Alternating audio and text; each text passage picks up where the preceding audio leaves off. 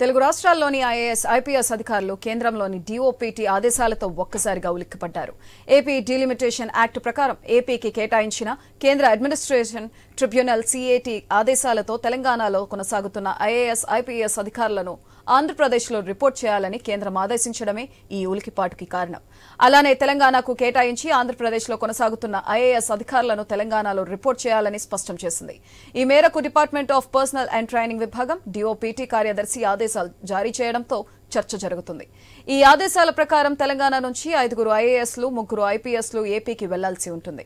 ఆంధ్రప్రదేశ్ నుంచి ముగ్గురు ఐఏఎస్లు తెలంగాణకు రావాల్సి ఉంటుంది.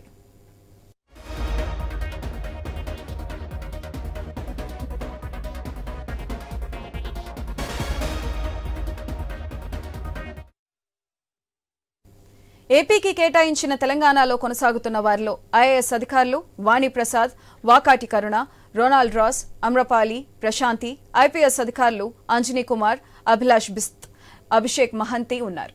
వాణిప్రసాద్ యువజన క్రీడల శాఖ ముఖ్య కార్యదర్శిగా వాకాటి కరుణ మహిళా శిశు సంక్షేమ శాఖ ముఖ్య కార్యదర్శిగా రొనాల్డ్ రాస్ ఇంధన శాఖ కార్యదర్శిగా Transco సీఎండీగా Amrapali greater Hyderabad municipal corporation కమిషనర్గా ఉన్నారు. ప్రశాంతి త్వరలో పదవీ విరమణ చేయనున్నారు. డీఓపీటీ ఆదేశంపై వీరు కోర్టును ఆశ్రయించనున్నట్లు తెలుస్తుంది. ఆంధ్రప్రదేశ్ నుంచి తెలంగాణకు రావాల్సిన వారిలో ఐఏఎస్ అధికారులు సృజన శివశంకర్ హరకిరణ్ ఉన్నట్లు చెబుతున్నారు. ఏపీ నుంచి తెలంగాణకు వెళ్ళాలని దరఖాస్తు పెట్టుకున్న ఎస్ఎస్ రావత్ అనంతరాం అభ్యర్థనలను డిఓపీటీ తిరస్కరించింది. వీరిద్దరూ ఆంధ్రలోనే కొనసాగుతారు.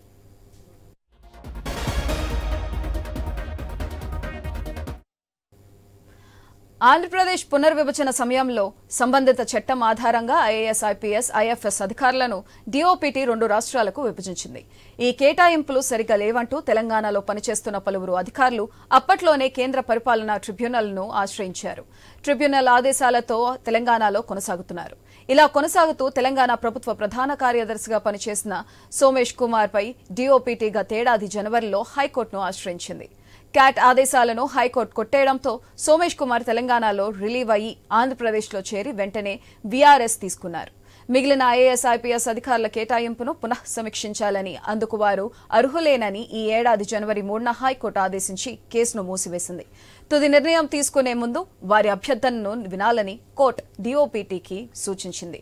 దీని ప్రకారం ఈ ఏడాది మార్చి ఇరవై ఒకటిన మాజీ కార్యదర్శి దీపక్ ఖండేకర్తో డీఓపీటీ ఏకసభ్య కమిటీని నియమించింది వారి రికార్డులను పరిశీలించడంతో పాటు జూన్లో వ్యక్తిగతంగా విచారించిన కమిటీ ఆ అధికారుల అభ్యర్థనను తిరస్కరించింది. దీంతో ఆయా అధికారులు తెలంగాణలో రిలీవ్ అయ్యి ఈ నెల పదహారులోగా ఆంధ్రప్రదేశ్లో చేరాలని డీఓపీటీ ఆదేశించింది. ఆంధ్రప్రదేశ్ నుంచి తెలంగాణకు రావాల్సిన వారికి కూడా ఇదే రకంగా ఆదేశాలు జారీ చేసినట్లు తెలిసింది.